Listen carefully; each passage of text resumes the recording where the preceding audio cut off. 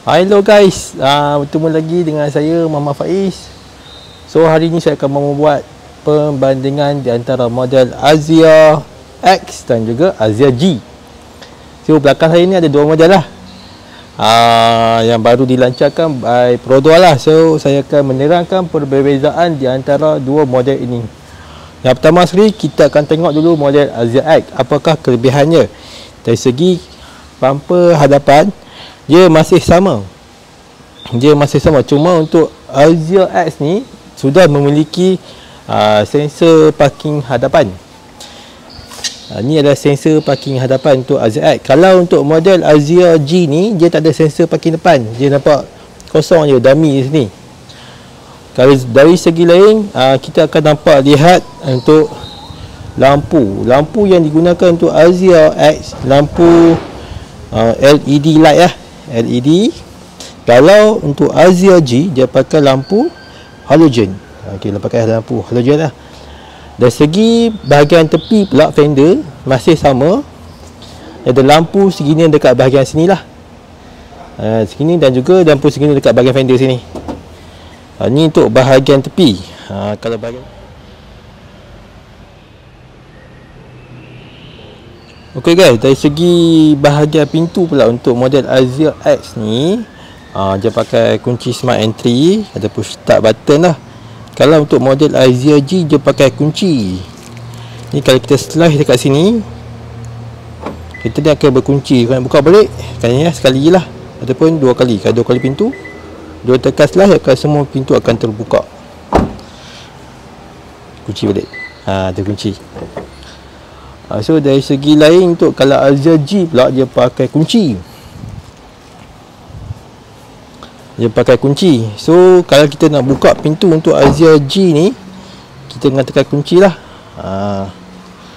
Contoh saya dapat ni untuk uh, kunci dia bentuk macam ni. Untuk G ni kalau tekan button ni kunci lah. Kalau tekan buka bawah ni.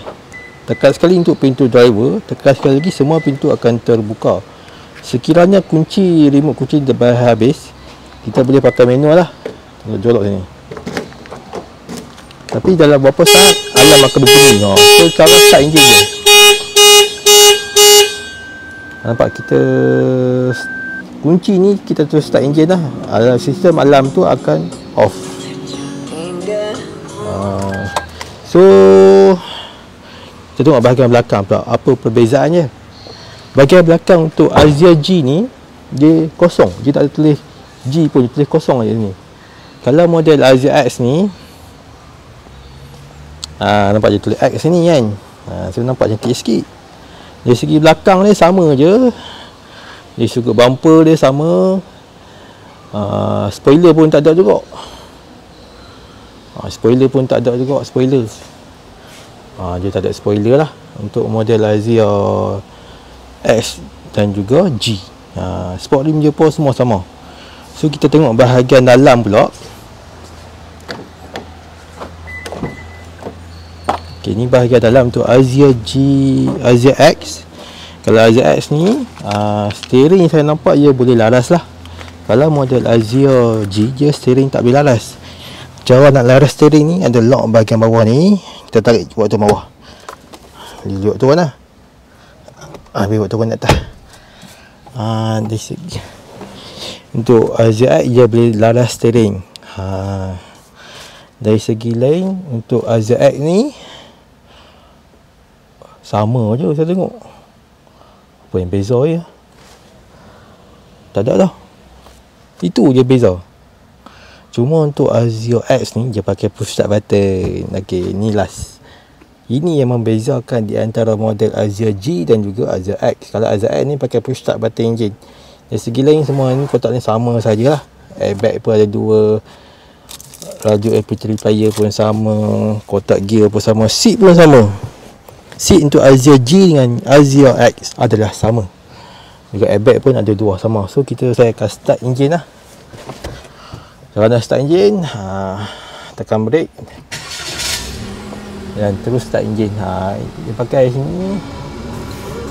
So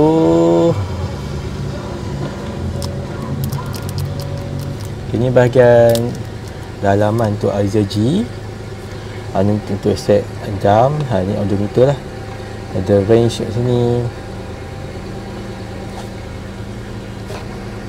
Ada ha, so ni untuk bahagian Azia G Azia X lah sorry. Azia X.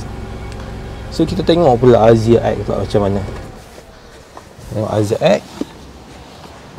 Kalau Azia X dia pakai kunci kereta kan? Ha, tapi steering dia tak boleh laras. Ini dia tak tahu dia kosong kat sini. Steering dia tak laras. Dan juga tak ada push start button. Dari segi lain uh, sensor parking depannya tak ada lah dia cuma ada VSC dengan adjuster untuk adjuster lampu. Meter dia semua sama. Ha, meter dia semua sama. Ha, kalau kita buka pintu lampu pintu tu akan menyala termasuk bonet belakang. Dari segi lain untuk Azia G ni seat dia boleh lalas. Boleh bagi tinggi lah. Sama juga untuk Azia X dia boleh laras bagi tinggi. Dan minyak kat sini lah ni untuk Azia G. Ha, yang depan tu Azia X lah. Seat dia sama. Memang sama.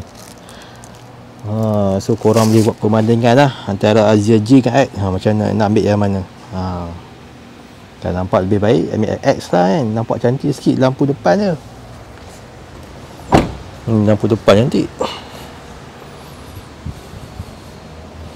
Ni lampu depannya memang cantik. Kalau Azia G macam ni. Lampu halogen kalau X ha, lampu LED memang cantik lah warna merah. Tapi kalau green cantik juga. Merah pun cantik. Hmm. So korang boleh buat perbandingan lah untuk dua model ni. Uh, uh, ok guys. So sampai sini saja episod kali ni. So korang boleh buat, uh, boleh buat perbandingan untuk sebelum membeli kenderaan kereta anda lah. Uh, minta tolong like dan subscribe channel saya Faiz Proda uh, bertemu lagi dalam episod akan datang dalam Faiz Proda ok guys terima kasih. Adios